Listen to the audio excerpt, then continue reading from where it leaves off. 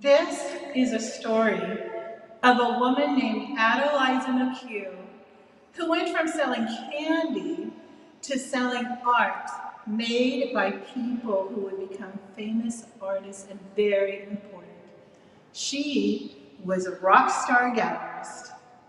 Hi there, my name is Miss Emma, and I am coming to you from the Crocker Art Museum. I'm not alone here. My friends Halton Kinsman, Brian Sir, and Mallory Marsh are in the gallery with me. I'm kind of um, distracted and laughing a little bit. This is a very, very incredibly engaging exhibit. I really enjoy it and love it. Uh, it's called the Candy Store Funk, Nut, and Other Art with a Kick. Now, for uh, everyone who's associated with Candy Store Gallery, which was the name of Adeliza McHugh's gallery, is very, very pleased to see this artwork. And many of the artists who uh, have come to see it have understood and reminisced about this incredible gallery. Let me tell you, tell you a little bit more about this rock star gallerist. Let's walk and chat. So I keep saying this word gallerist. Uh, what do I mean by that? Well, a gallery owner uh, is a person that owns an art gallery. And the purpose of this art gallery is to work with artists to show their work and to sell their work. Uh, Adeliza McHugh was like no other. She was in business for 30 years. And these 30 years were very vibrant. And uh, every uh, artist that worked with her uh, knew her to be someone they could trust. And they really, really liked her and considered her an ally. And when she hyped their work, she was also hyping our region. And this is another reason why we respect and appreciate Adeliza McHugh.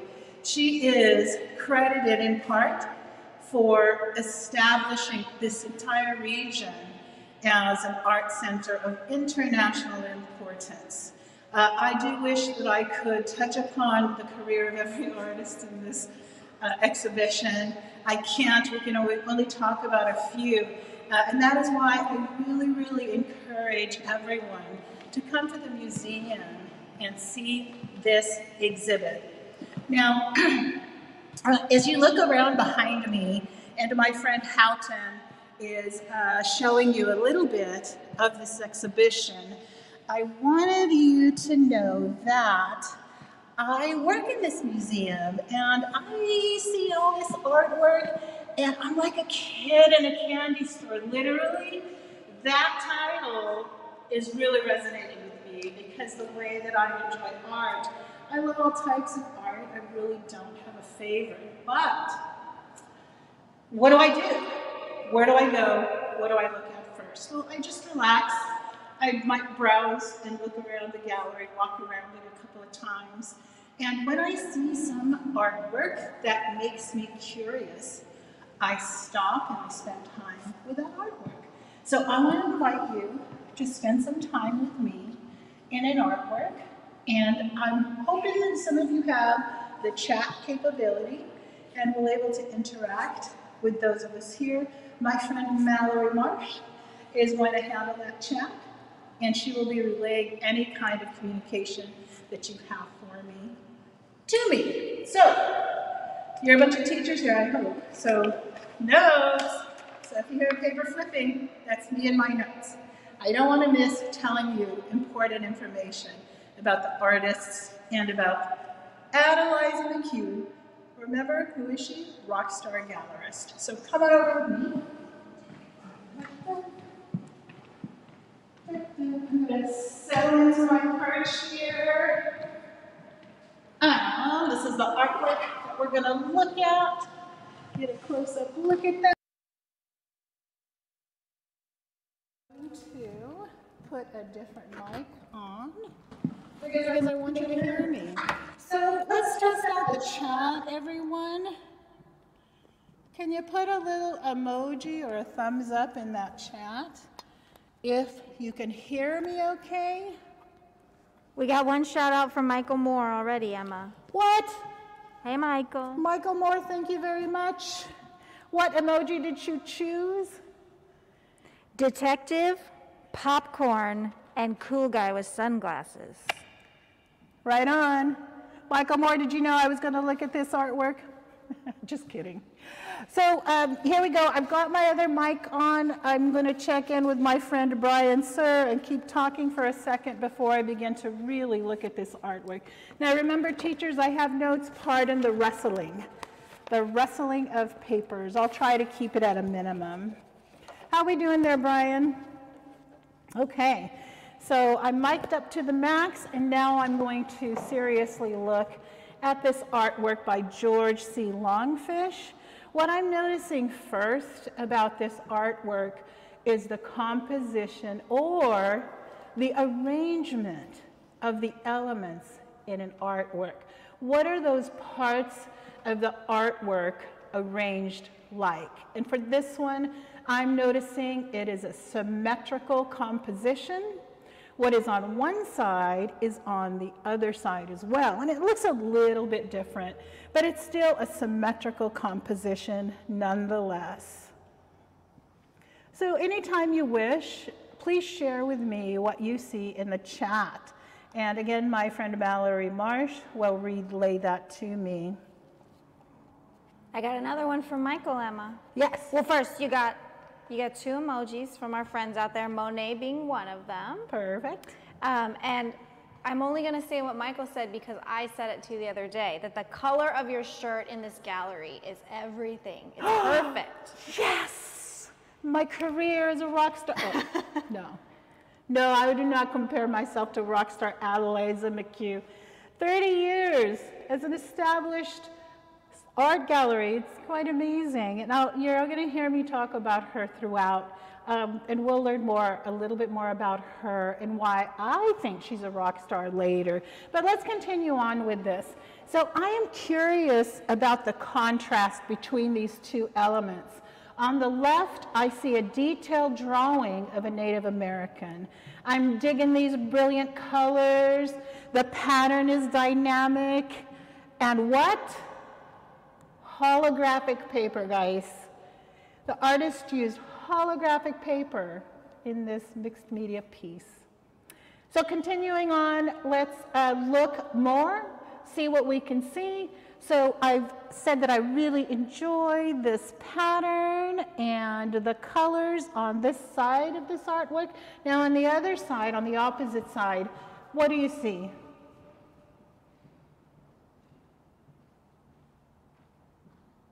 Share in the chat. I'm going to share what I see.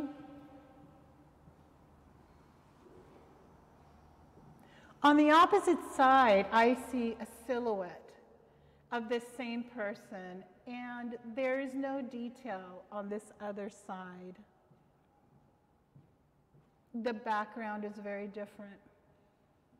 What do you see? I see a silhouette in a dismal, empty background, also words. The only good Indian is a dead Indian or an invisible one. I'm very curious also about this cute little baby smack dab in the center of this artwork. The baby makes me smile and at the same time, I'm disturbed by the words.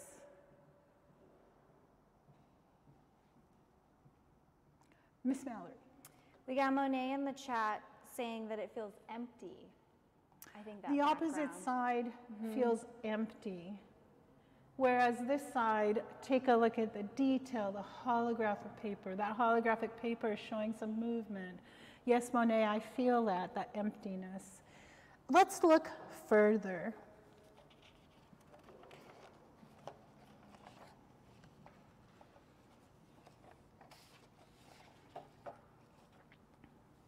Waiting just a tiny bit for that chat to catch up. No worries if I don't respond or we don't see it, we eventually will, and then we'll share your response. When I'm looking at artwork, I love to go with people because I always like to hear their um, responses and hear what they see. So uh, let's ponder further. Let's be serious investigators. Let's check out the label. So I can share with you that the uh, title of this piece is I is for informational, and then in parentheses, cultural transfer. I'm going to say that again. I is for informational, and parentheses, cultural transfer. Let's continue to look at the artwork.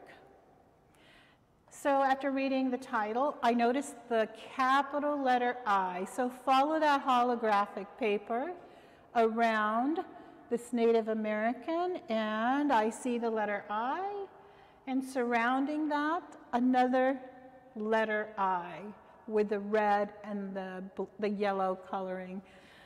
I also see birds and butterflies in flight. I'm not sure if you could see that. They might be reading a little bit tiny for you. Something so great. Those birds, those butterflies, that horse, that ram, those are puffy stickers. Who knew that that was an art material? Well, this is exactly the kind of artwork that Adeliza McHugh was looking for. She wanted to work with artists who weren't terribly concerned about tradition or what centuries of art history was telling us is the way to go. They wanted to debunk tradition and what a way to make an artwork. Let's all use puffy stickers from now on, and they're so tactile. That's my favorite thing about puffy stickers. Um, where are they placed? What is the reason for them? We don't know, but I want to point out to you that this little, little, little bird here is standing so still. And that's the side that Moniquete de la Cruz mentioned to us was very empty, except look, there's a little bird. And then the butterflies in flight, we don't usually see a ram or a horse up in the air. We don't get the sense that they're flying, but those elements contribute to that idea to me that all is not well in the world on that side. Now, uh, I think this artist is a perfect fit for this exhibition uh, Adeliza McHugh is quoted as saying that she wants to see art with a kick. Uh, and this is certainly art with a kick. Let's look further. And again, if I've got anything in that chat, I want to acknowledge it. Anybody? Anybody at all? I kid, guys. I can keep on going. I do hate to hear my own opinion and hear myself talk on and on. Uh, I don't usually do that, but that's okay. That's okay. I can keep going. Alrighty, at this point, I feel comfortable making assumptions. Um, I will tell you that when I've been looking at art with others, they will always see something that I don't, or vice versa.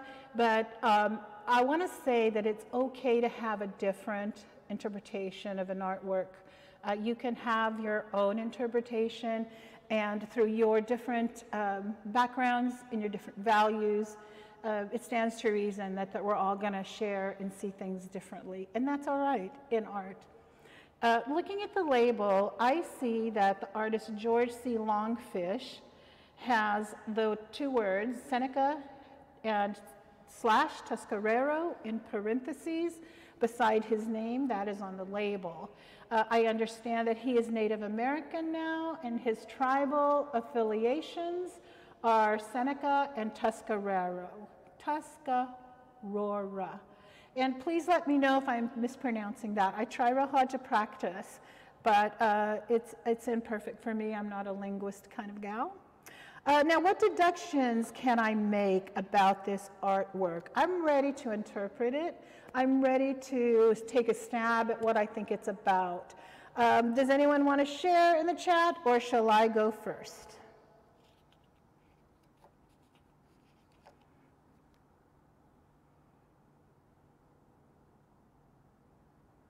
At any point in time as I'm talking, feel free to send a comment. Okay, guys, this piece for me is a representa- representation of triumph, longevity, strength, and fortitude. Why? Because of this baby, smack dab in the middle of this piece. Let's look at this baby. Let's take a careful look. Um, the baby is sitting in this brilliantly colored and patterned carrier. Uh, I want to say that underneath this carrier is a strip of glittery holographic paper. And for me, that is acting like a throne for this baby. Um, look at this baby. The position of the arms. This baby is ready for anything. And gosh, if you've got shades, that means you're going out for an adventure. All is well, and you're going to go out. And to me, this baby is saying, Let's go. Now, I don't see his legs. We don't see his legs, but I'm imagining his legs are wiggling, and uh, the baby's excited. And I'm understanding this entire artwork to be a representation of this statement.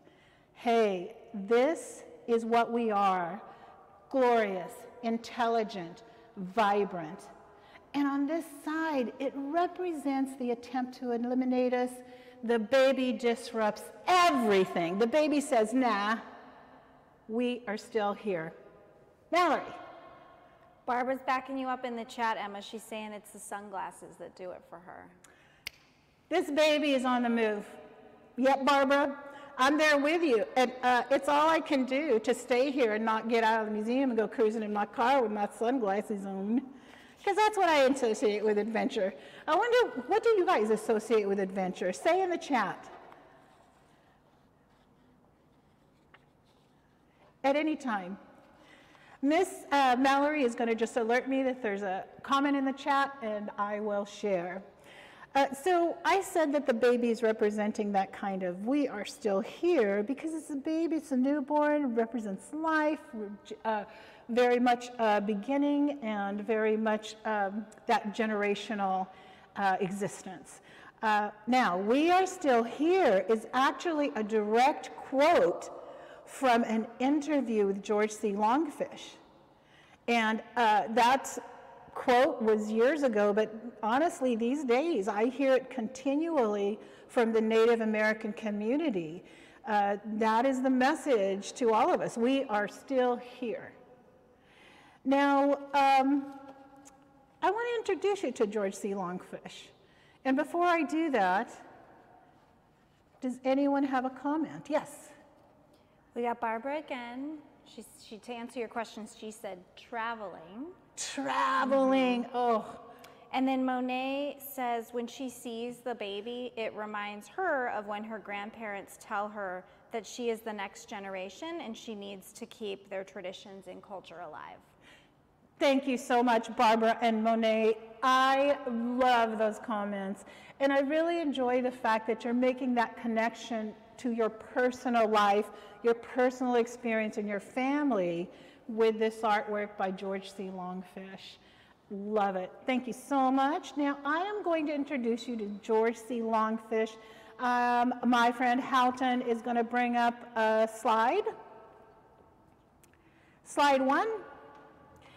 Now, George C. Longfish is a living artist currently reside, residing in Maine.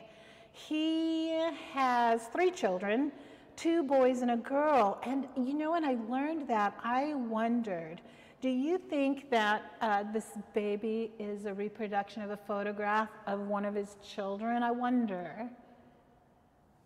What do you think?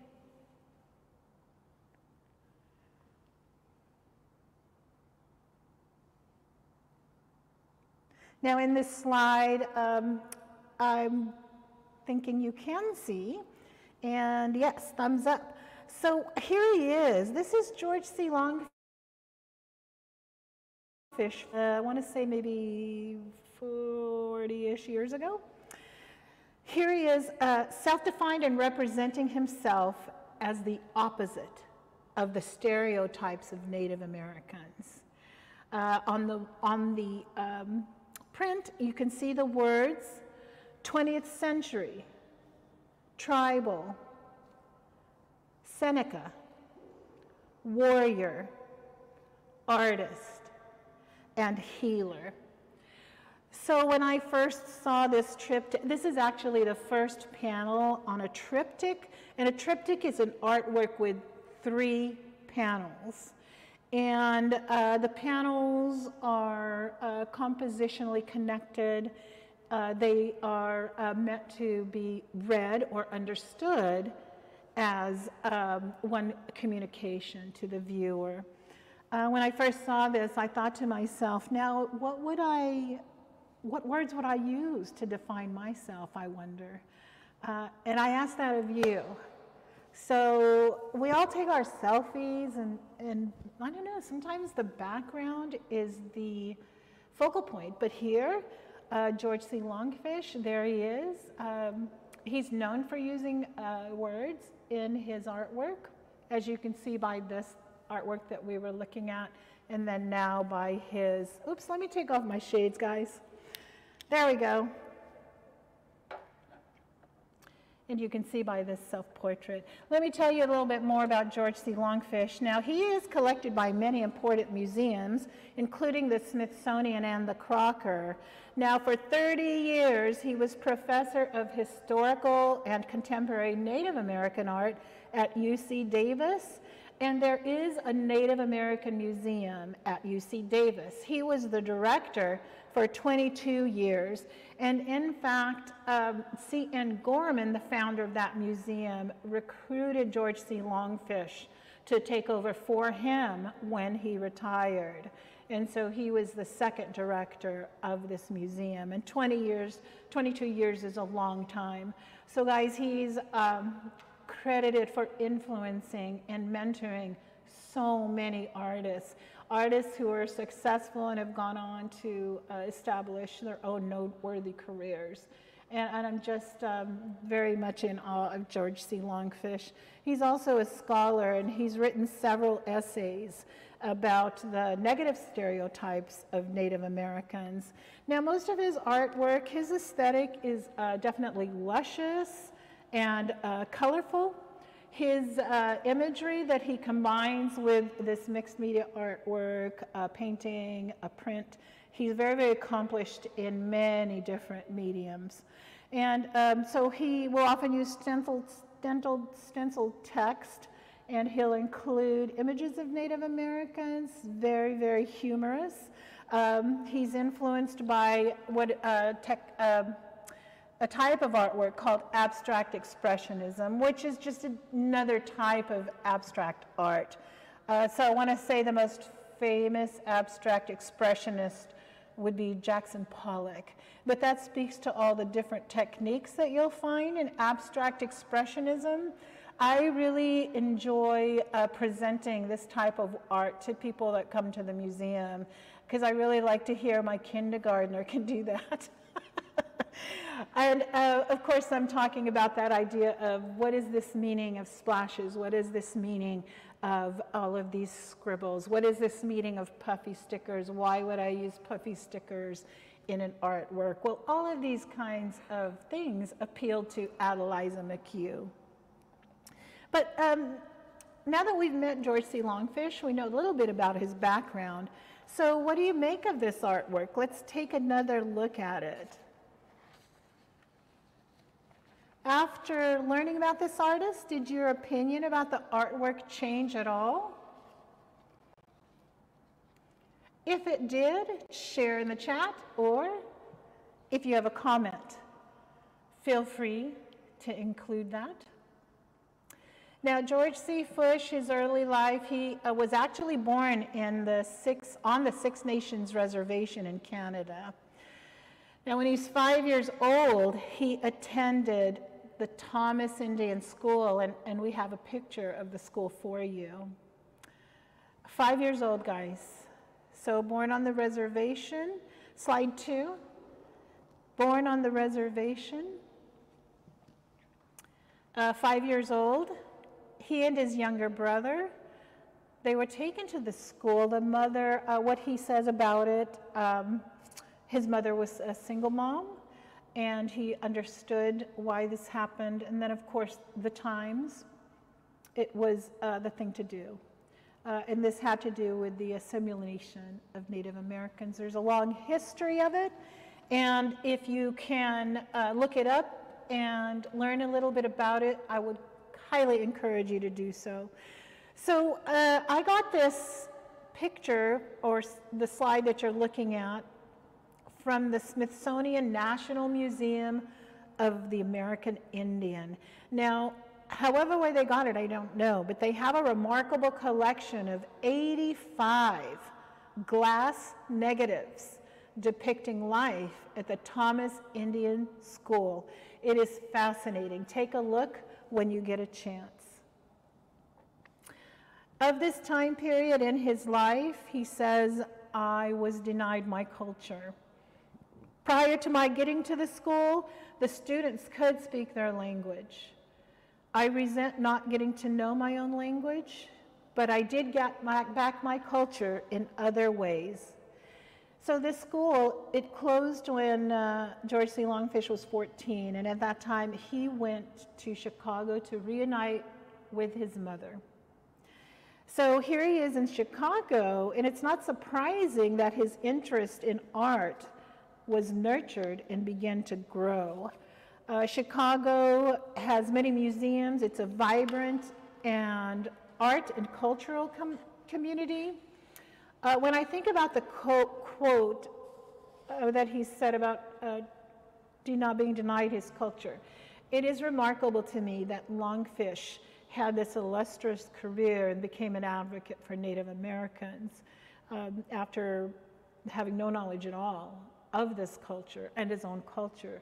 He came back to it. It's a mark, remarkable achievement and it's, it's a triumph. So um, slide four, I did want to share this with you. It's a quote from George C. Longfish. Um, and he's telling us that's up to the viewer to decide. Uh, remember that I said to you that when you look at an artwork with somebody, they might see something different from you, and you might have two completely different interpretations of that artwork. There's not a wrong or a right answer there. And I hear this many times from the artists that I work here with here at the museum. They say that that's up to the viewer to decide. Um, now, we spent some significant time looking at George C. Longfish's artwork, and uh, we were kind of decoding it in a way. So, is it some kind of big relief to know that George C. Longfish is okay with you making up your own decision about what the artwork is about. I think it's a big relief and it allows us to have a lot of fun. So I want to show you um, a close-up of this artwork that we're looking at. Uh, and I want to note that this artwork I is for um, boo, boo, boo, informational culture in parentheses transfer is a piece that is in the Crockers collection. This is our artwork. It is an artwork that is a part of a series. A series being uh, several artworks that are similar in the, what they're communicating and what their composition is or the colors or the subject matter. And um, so we have another artwork, slide six. Take a look. And you're going to see I is for Indian. also exists here. We're going to see a symmetrical composition.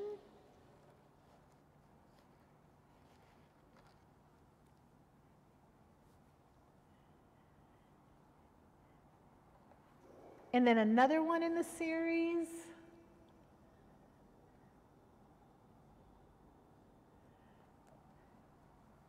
Then we're going to keep right on going to the next slide, and this one is not the series, it's an artwork called Spirit. This artwork uh, is depicting Pawnee Chief Petalesharo. And please correct me if I'm pronouncing that wrong, uh, Pawnee Chief Petalesharo. It means chief of men or man chief. And on the side of this uh, slide, of the slide of the image, on the side of the image, I'm going to read to you. It says, I sat down and meditated. I got into a clear space. I met him. We kind of talked. We came to an agreement. He said, and in less than two days, it had, he, I had it totally done. It was incredible. And here he, was, he is referring to his difficulty in drawing Chief Petalesharo. And he's talking about how he overcame it. So he went into a meditative state, uh, and this is his process with many of his artworks. Uh, and then the referencing, uh, talking to Chief Petalesharo, uh, he's referencing that idea of soul theft. If you have the image of me, you have my soul. And that is what uh, George C. Longfish is referring to. So checking in with the chat, anybody have any comments, any thoughts to share? Okay, let's uh, close with a quote from George C. Longfish, and, and this uh, might sum up what we've been doing for the last, I don't know, 10 minutes or so.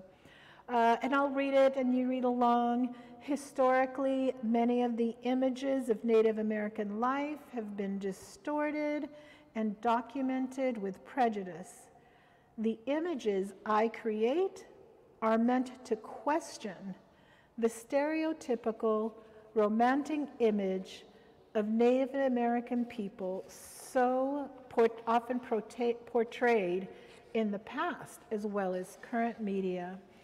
Do uh, Google uh, George C. Longfish and learn more. He has so many important things to say. Um, I love the idea that um, George C. Longfish worked with Adeliza. I think that uh, he's perfect fit for the kind of work that Adeliza wanted to represent and show and be affiliated with. Uh, and that's another reason that she's a rock star. She was not afraid. She was very daring. And though the message here in this artwork uh, may have uh, been a little bit uh, empty, as Monica Thea observed, and it may not have been happy, it is still important to note. Uh, as you can see, I'm getting ready to discard my little throne and understanding which mic I'm going to discard. I've taken off my glasses, but I'm going to be on the move.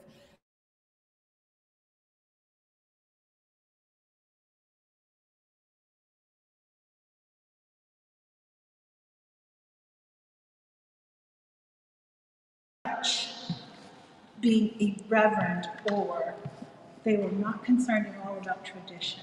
What they wanted to do was do work that they felt was important to them. And if you didn't like it, that was okay with them. So come on over. I see Hillary, Roy DeForest, all artists that everyone has heard about. And here we go with Robert Arneson.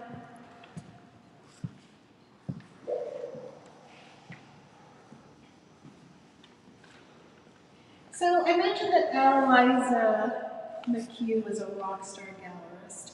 And another reason that I think that she was a rock star gallerist is she did not have a background in art. Uh, she wasn't an artist herself, but uh, she had a knack for selling art. and how she spoke about it, uh, how she portrayed the significance of an artwork to someone that she was hoping would pay money for? I don't know. But she was very successful. And look at the kind of artwork that she was selling. It wasn't artwork that was easy to look at. Here's Robert Arneson. Yeah, there's portraits through the centuries, but Robert Arneson said, Oh, yes, I'm going to make a self portrait and I'm going to make it picking my nose. So he's definitely debunking tradition. And he would definitely attract the eye of Adeliza McHugh. Now, um, Robert Arneson and many of these artists who are represented in this gallery, they were uh, professors or teachers at UC Davis. Um, some of them uh, taught at Sac State. Uh, Sac State has a wonderful exhibit of uh, artists who were represented by the candy stores in their library gallery. So check that one out too. Okay, let's look at more art. I think I want to go to this one. And this one I've been hearing very, very, very softly. So come on. Oh! And then. So this is an artwork by Clayton Bailey. I don't know why I'm being more quiet. I think it's because when I go in this gallery, I kind of play a little game and I try to predict when the glug is going to happen. I'm going to be quiet this time so you can hear it.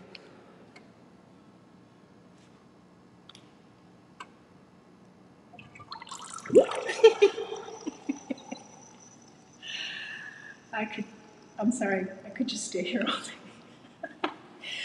Clayton Bailey, dangerous brain mold. Oh my God, it's so dangerous. Look, there's a syringe. There's a syringe. Oh, and what is that brown stuff? Come on now, come on, chat people. What are you looking at? Are you seeing what I'm seeing? So what is this? Is this? Oh, look. You know what? At first I thought this was a lizard, but that's a freaking vein, you guys. Ugh. Dangerous brain bowl.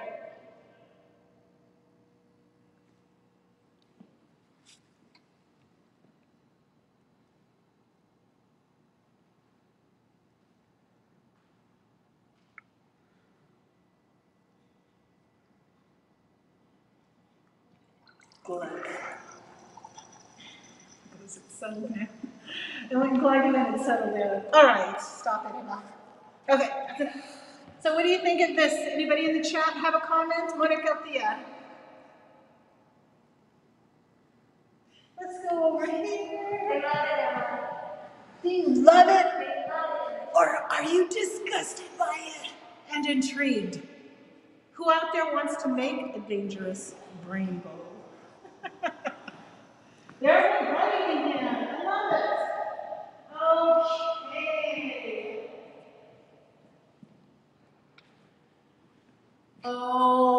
Okay. OMG, don't get me started on puns. I love puns.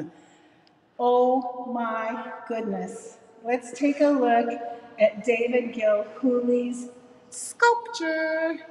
What are you seeing here? Okay, it's a moon. You see the moon? It's a moon. Stick a fork in it. It's a pie. Moon. Pie.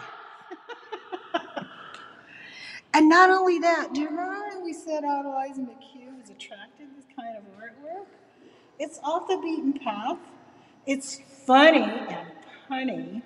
And look at this. What has he done to this moon pie? The moon pie's on a pedestal. Now, in art history, what we put on the pedestal are monumental figures, but not David Gilhooly. He's going to put a moon pie on a pedestal. And not only that, this half of the moon pie is chocolate. I'm guessing vanilla. But actually, actually, guys, you can eat a moon pie. They come in a little box. They're terribly unhealthy for you. But they're not shaped like this. They're like round and they're filled with this cream and so on. And they're all, they're called moon pies, but I like David Gilhooly's moon pie so much better. So now I'm distracted. Let me look at my notes. Where do I go next? This is a pun, you guys. I love puns. There's a game that you can play. Uh, you gather some items in your house and you put them together and you have your friend or family member guess what it is. And you make a pun that way. Yes, Mallory. Oh, I just uh, got a little info in the chat. Monet says it's very unique. And then Lori is commenting that many of these artists were her teachers. Lori, how lucky were you? Did you laugh like crazy all the time? Did they surprise you? I would just be cracking up. I'm just standing in this gallery. We could go to every artwork. We would see art with a kick, exactly as uh, described by the title of the exhibition. So now I'm going to go over um, more about Adeliza McHugh. You know, another reason she's a rock star, I said she was daring and a very, very unique person. She actually did not know any artists. She didn't know any artists at all. Now, um, when we talk about Adeliza McHugh, we have to mention Irving Marcus. Now, Irving Marcus, um, he had an artwork that was in a Kingsley, and the Kingsley is an art club that has been in existence for many years. Uh, I know many of the members, they're just remarkable art fiends like me. Now, Irving Marcus uh, was also the department chair at Sac State. So Adeliza saw this artwork in this exhibit. It was here at the Crocker when it was the E.B. Crocker Art Gallery. And just out of the blue, she called Irving Marcus and she said, How about you show in my gallery? Well, keep in mind at this time, Adeliza McHugh did not have any artwork in her gallery. It was a thought in her head. Look, candy gig didn't work out. I'm going to show and sell art. And she chose this artist, Irving Marcus. And he was, and I say was, pardon me if I get a little bit emotional, uh, Marcus, Irving Marcus passed away last year. I am going to miss going to his openings and seeing him and his lovely wife Elizabeth uh, surrounded by their friends. And uh, every time I went to uh, an exhibit of his in a gallery, it was always so full of color. Uh, his imagery, um, always enough to just uh, keep you with it for a while, thinking about it and pondering it. Again, another a perfect example of the kind of aesthetic that Adeliza McHugh was really desiring for her art gallery. And honestly, I do believe, I mean, I didn't know her, I'm a little too young to have had a personal experience with the Candy, uh, with, with, excuse me, Candy Store Gallery.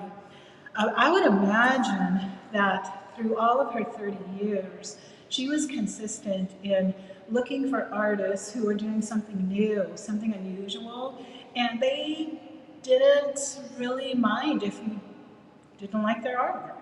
They were doing their thing for sure. Now, um, Eric Marcus is the very was the very first artist who showed in uh, in Candy Store Gallery, uh, and he's a generous, generous man. He was a generous man, and he introduced her to uh, many artists, and thus began Candy Store Gallery and Adeliza McHugh's brand new career as a gallerist and rock star gallerist at that. Don't forget. Now, I had a very, very memorable experience with Irving Marcus. As a museum educator here at the museum, I work with many artists and uh, I, uh, I enjoy it very much. So Irving Marcus was asked to create an art activity for an exhibit that we have. And in this program, it's typical of our programs where the public is invited to join in in the art activity, uh, and then they uh, might look at an artwork that is associated with the activity. But what I want to do today, right now, is share that activity with you, and uh, maybe you could try it sometime. Uh, it's very enjoyable. You're not going to draw a thing that's recognizable, so don't be scared. Now, let's go ahead and get started. I'm going to go over here. Uh, and what I used, or actually what Irving Marcus wanted to use for this activity is very simple materials. He wanted to use oil pastel and paper. Pardon the noise here. I don't know if my mic is picking that up. Can I get someone to mention what's going on? With this stuff in the chat? Everything okay? All right, so here's the art project, and uh, we're going to put shapes on a piece of paper with our oil pastels, but there's a particular way to do it. Now, with these programs, we actually practice, the staff and the artists practice. So when I was practicing with Irving Marcus, and he was walking me through this activity, first of all, the uh, oil pastels were in boxes like this, and they looked kind of new, kind of like this. And Irving looked at it, and all the papers were so neat, and I, I very, very carefully, know, so tiny, and putting paper towels besides the oil pastels so people could wash their hands. And the first thing Irving asked me to do was break some of them in half and peel off the paper. I said, okay, you're Irving Marcus. I'm a fan. I'm going to break this stuff up and peel off the paper. And then it made sense to me later. Uh, and then he started walking me through the uh, art activity. Uh, and he sensed my hesitation in selecting colors. Uh, and he said to me this great thing, and it just changed how I approach materials altogether. He saw me hesitating and he said, Emma, don't be afraid of color. And uh, I took that to heart. I'm still afraid of color, but less so. How's that? So here's the activity. So take your uh, box of colors, whatever they are. I like the oil pastels, but you don't have to use them. I'm going to select a color. And if you can see my colors and you want to select the second one, go right ahead. You're going to start with just putting down, laying a shape. I'm just going to do the square, put that aside, and now I have to select a second color to lay beside this. But before I do that, I'm going to ask myself questions about this color. And you can answer them in, in the chat. Does this color have a temperature for you? Does it make you feel warm? Does it make you feel cool? Are you enjoying this color? Is this color dark or light? Now, it's going to get complicated. I'm going to choose another color. I'm going to choose this one. I'm going to put that beside it. I'm not going to go over it. I'm just going to put it beside it. And now I'm going to try and understand the relationship between these two colors. So as I look at these two colors, and that's part of what you want to do, you want to look at these two colors and ask yourself this question. Does this color look more brilliant or brighter now that I've put this color beside it? Do these colors look appealing to each other? Now I'm going to pick a third color. Which color should I pick?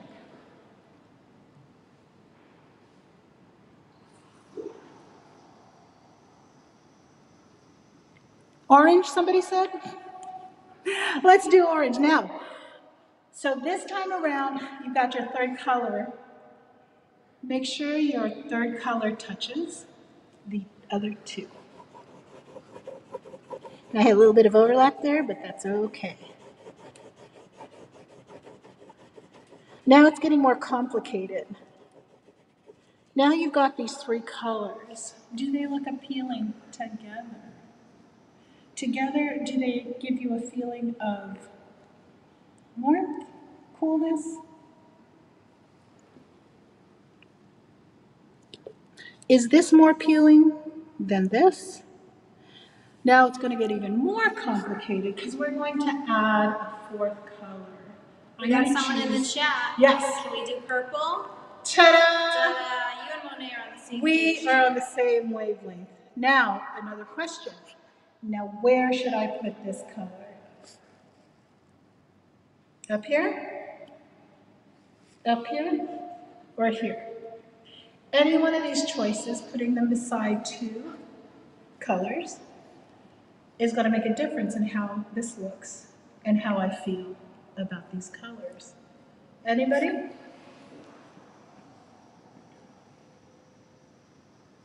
Here?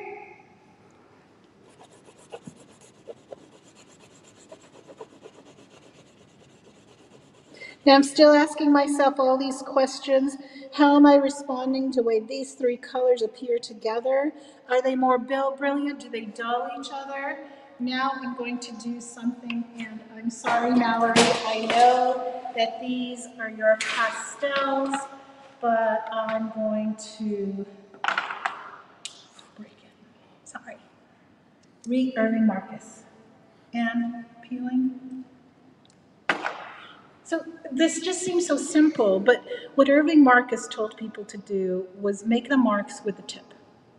Make the marks with the angle. And then this is my favorite part, making the marks with the side. So tip would be like this, right? Can you see that? Let me try this. So tip would be like this. Angle would be like this. Watch this. I love this. Ah, let me hold it.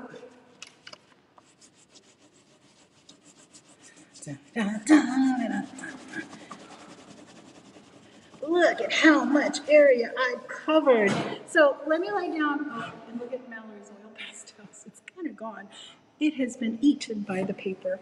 I'm going to go in with orange, and I'm not going to rip the paper off in the interest of time, but I'm to do this thing here. Oh, look, it overlapped a little bit, and it's not very pleasant looking to me. But if I needed brown, how do I make it? How do I make it? Say it out loud, sitting in your chair, wherever you are. If I want brown, blue and orange, it'll get you every time. So I'm to take my red. This is something else that Irving Marcus wanted us to do. He said, really, really smush that color in there. You know what I'm going for, guys? This is called intensity. This color is going to be intense versus this. Not so intense, but this, very intense. This is another thing that Irving Marcus wanted us to do. He wanted us to get in there with our fingers and blend. What's going on here, people? In the chat, what's going on? Then he also wanted us to take the white and anywhere you like, put it on top of a color. I'm going to put it on top of this color that I just made. What's going on, guys?